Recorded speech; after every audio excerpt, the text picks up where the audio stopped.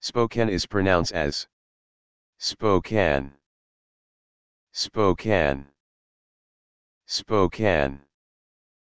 Spokane is a city in Washington state. The name Spokane comes from the Native American tribe that lived in the area. The word Spokane means children of the sun in the tribe's language. The city is located on the Spokane River, which is a tributary of the Columbia River. Spokane is the county seat of Spokane County. The city has a population of over 210,000 people. Spokane is the second largest city in Washington state. The city is home to the Spokane International Airport, which is a major hub for air travel in the region. Spokane is also home to Gonzaga University, a private Catholic university.